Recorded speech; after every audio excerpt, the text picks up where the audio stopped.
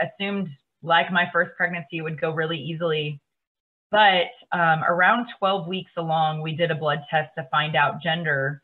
And we did find out that we were having a girl. My son specifically requested a lady baby, is what